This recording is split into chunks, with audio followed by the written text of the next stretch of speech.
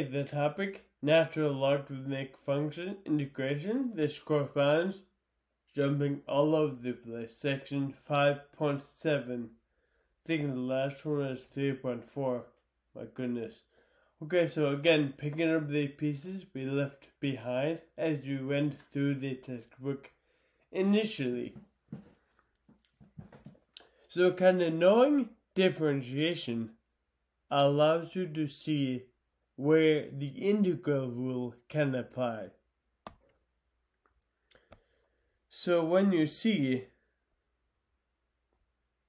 1 over x or x to the negative 1, you know then that is the derivative of an ln of x. So you can do the integral rule.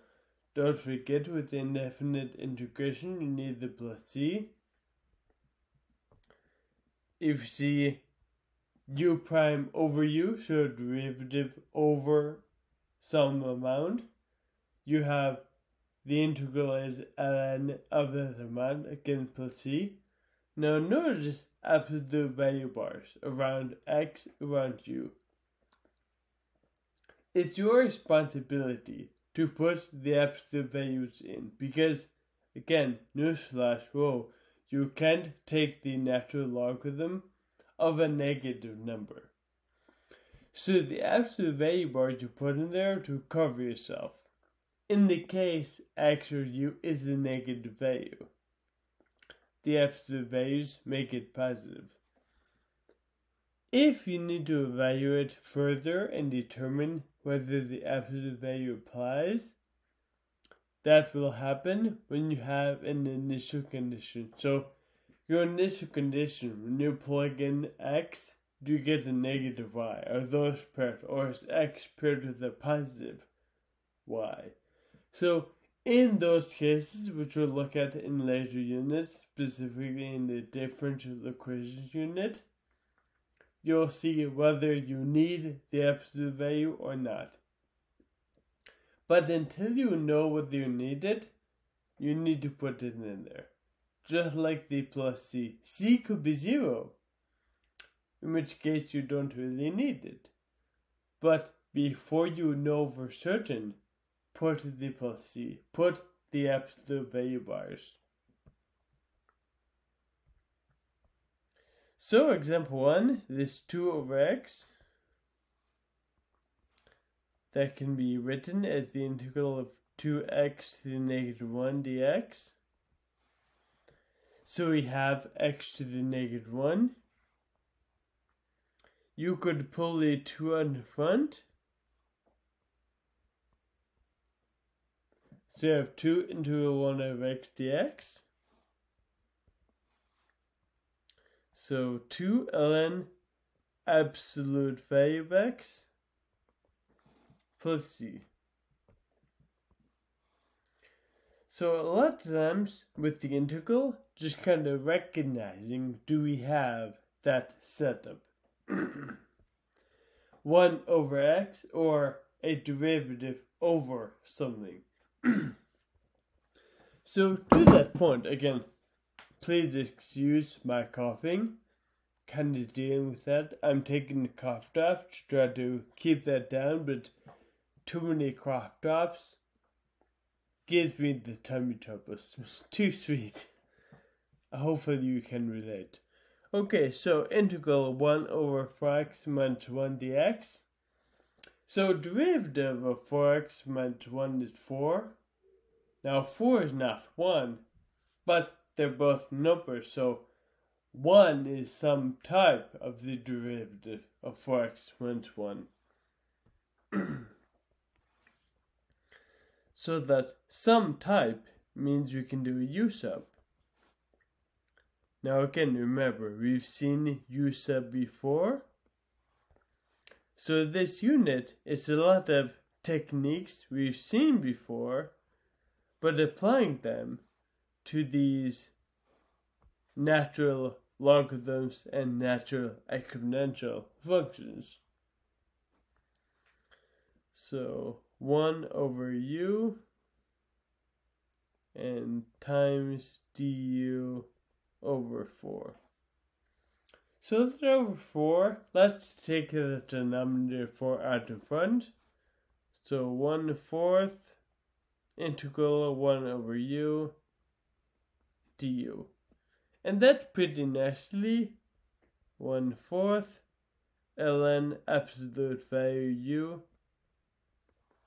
plus c.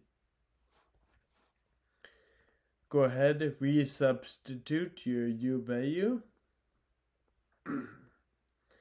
and then think for a moment.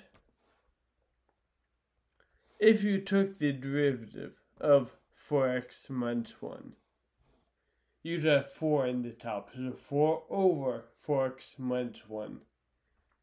The 1 fourth at the front cancels the 4, so that 1 fourth kind of balances it all out. Kind of scales the whole thing down. Now looking at some definite integration with this, okay? we have x over x squared plus 1.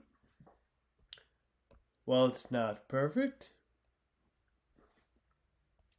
x is some form of the derivative of x squared plus 1. So we'll go ahead and do u sub. and eventually, maybe you kind of get to a point where you can do these u subs in your head. That's great. If you can't right now, that's fine. Just keep writing it down. If on the exam you're like, you know what, I want to write it down, be sure that's fine. What I'm trying to say is there is kind of a pattern to these user problems. so we have x over u du. I can hear my youngest son Brendan just making noise. I can tell he's being goofball, kind of funny. But I can hear you can't. So me laughing about something you can hear about, kind of awkward. So we're gonna move on. So the limits 0 to 3, let's change those limits from x values to u values. So plug in 0 for x, 0 squared plus 1, have 1. Then plug in 3 for x. 3 squared plus 1, that's 10. so x and x cancel out pull the 1 half on the front, 1 to 10, 1 over u, du.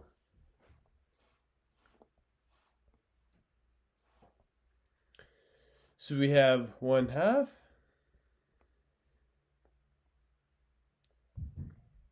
ln absolute value u from 1 to 10.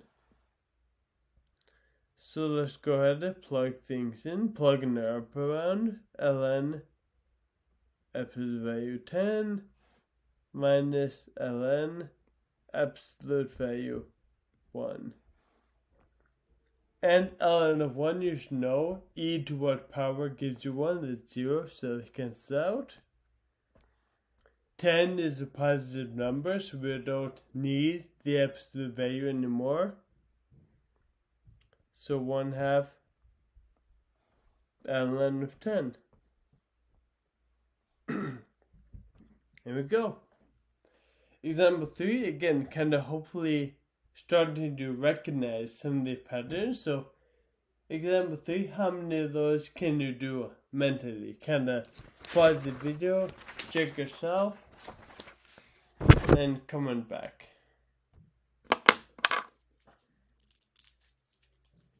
Coughed up. Yay. Okay. The wrap up. So, when normal U substitution not a viable option. So, again, we've seen this technique before, but now applying it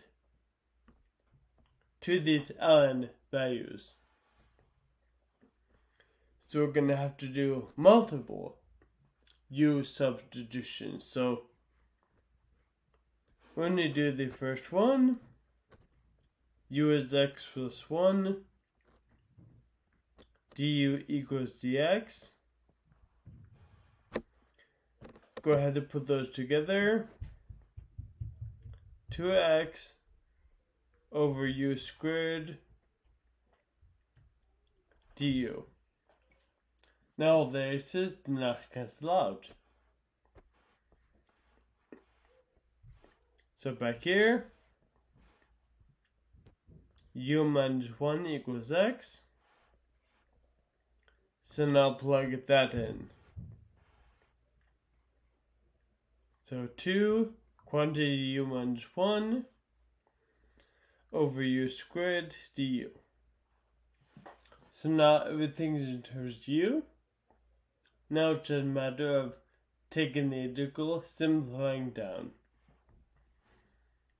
So we're going to distribute the u2. Actually, no.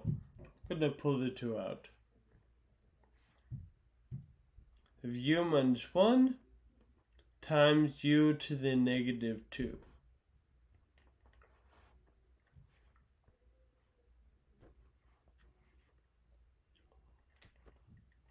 that becomes u to the negative 1. Again, distributing this u to the negative 2 minus u to the negative 2 du.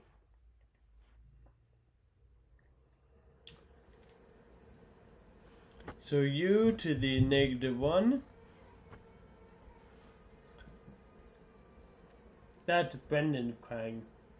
Okay. 1 over u. oh, sorry. It's already 1 over u. So taking the integral. ln, absolute value. And this u to the negative 2, that is river integral for power rule, okay? So u to the negative 1, divided by the new exponent, so divide by negative 1. and plus c. So the 2, distribute that to every single term. So you have 2 ln absolute value x plus 1. Kind of resubstituting the x plus 1 again minus the negatives plus the positive, u to the negative 1, just do 1 over x plus 1. 2 times c, just plus c. There's a lot going on in that problem, but nothing you haven't seen before.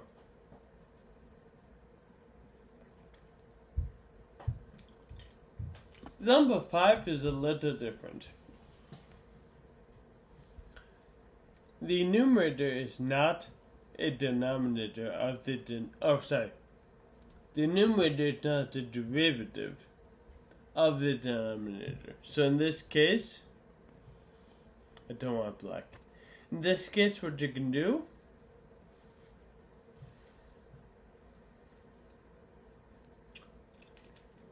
is a little long division Can of call the problem bluff.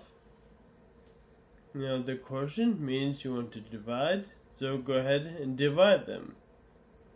And you'll see, if you don't see y already, you'll see why in a moment. So leading terms, x squared x squared. So 1, distribute the 1, 1 times x squared x squared. 1 times 1 is 1. Subtract all that stuff. x squared's cancel. 1's cancel. Drop the x down. And x squared, our leading term outside, cannot fit into x. So the division leaves us with 1 plus x over x squared plus 1. Alright, so now we're gonna take, gonna go back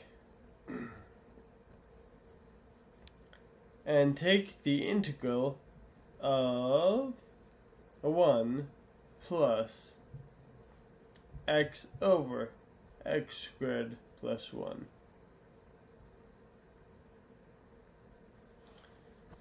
So go ahead, finish that up, check your work with my complete notes online.